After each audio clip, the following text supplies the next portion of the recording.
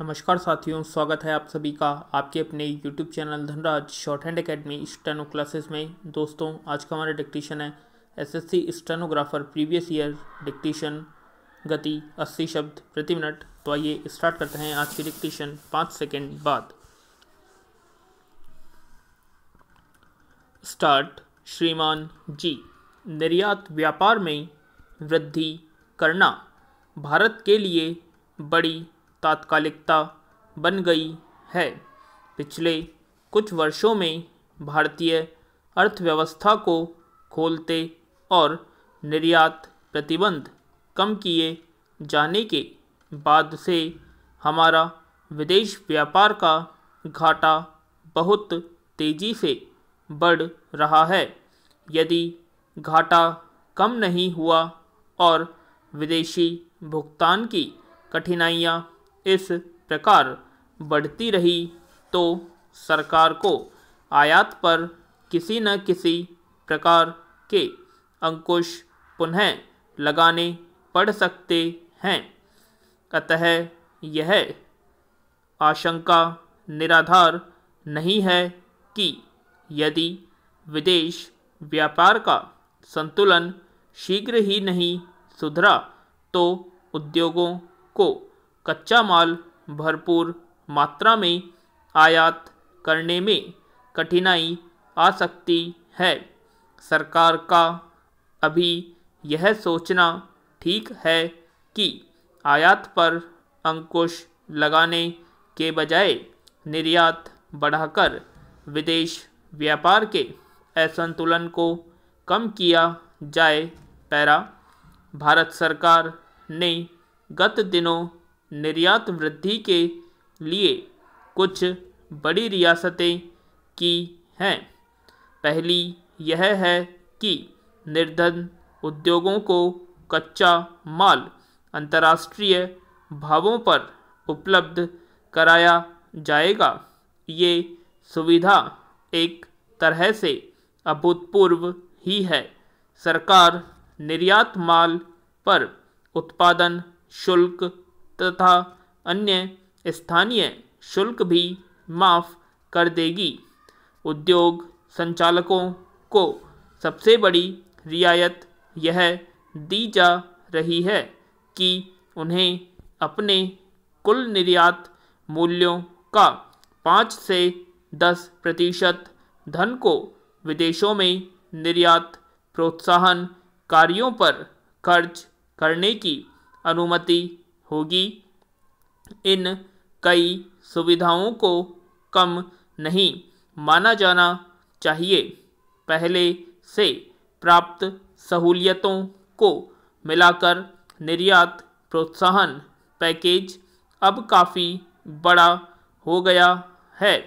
उद्योगों को नया पूंजीगत माल तथा मशीन संयंत्र, फालतू कल पुर्जे तथा नवीनतम टेक्नोलॉजी के आयात की चोट पहले ही मिली हुई है।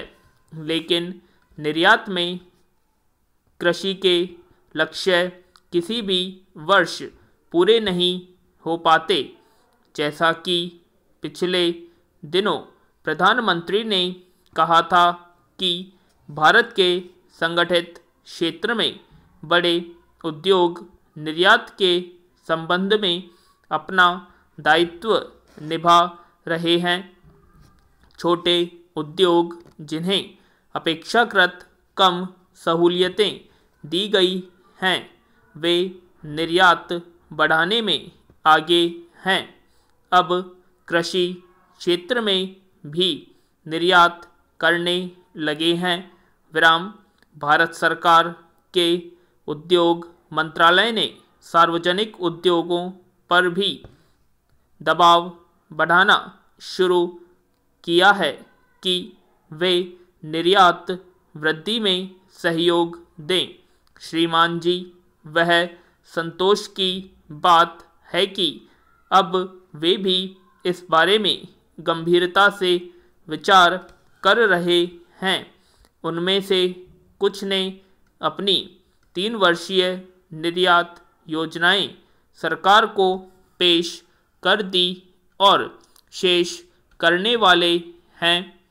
निर्यात बढ़ाने के गंभीर प्रयास नहीं किए गए तो मुसीबत में फंस सकते हैं, क्योंकि उन्नीस सौ छियासी में विदेश व्यापार घाटा। पहली बार पचासी हज़ार करोड़ रुपए को पार कर गया है, जब तक यह घाटा बना हुआ है, तब तक हम अपनी अर्थव्यवस्था को सुदृढ़ नहीं मान सकते।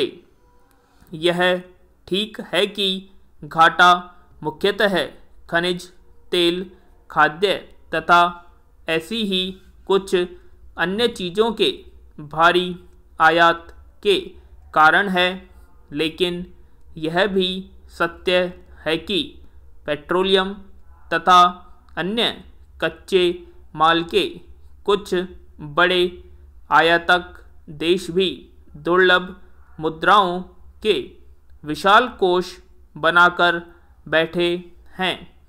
यदि हम सच्चे दिल से प्रयास करें तो शीघ्र ही अपने विदेशी व्यापार का संतुलन अपने पक्ष में कर सकते हैं।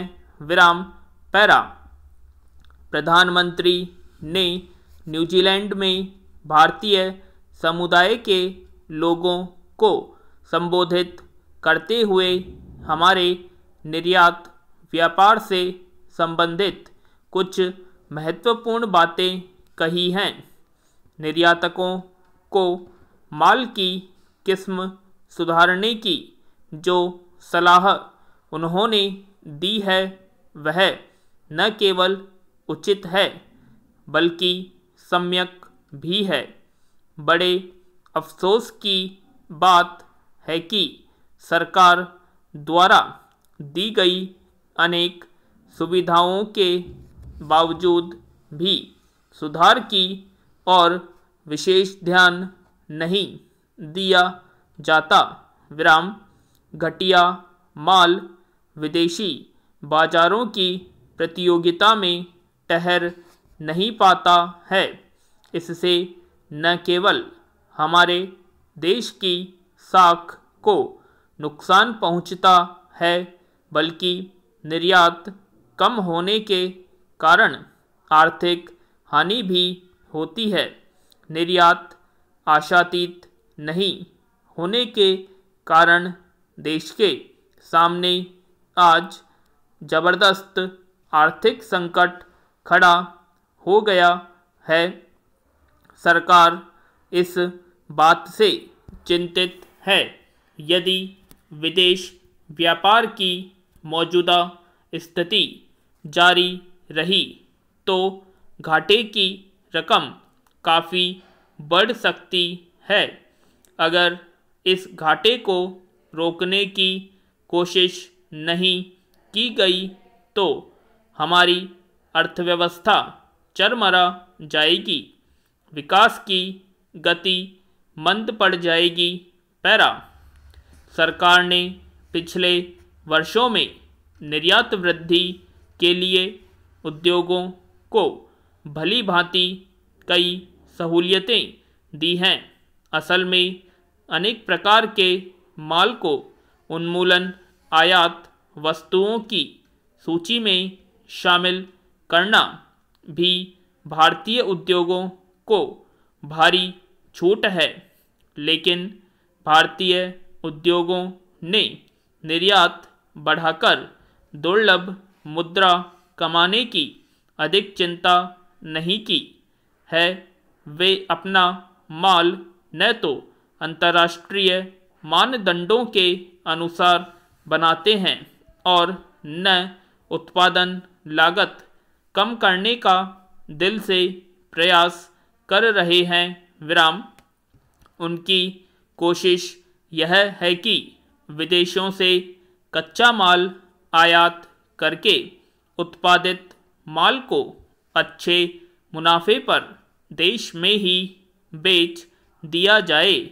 विराम, उनकी लगातार यह मांग रहती है कि उत्पादन शुल्क की दरें कम की जाएँ।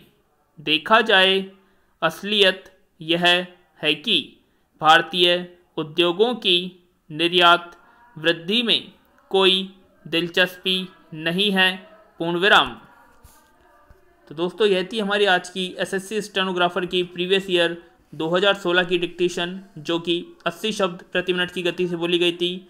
आशा करते हैं आप सभी को डिक्टेशन पसंद आई होगी तो प्लीज़ कमेंट बॉक्स में कमेंट करें। और अभी तक आपने हमारे चैनल को सब्सक्राइब नहीं किया सब्सक्राइब करें। एंड वीडियो को लाइक और शेयर करना ना भूलें। धन्यवाद।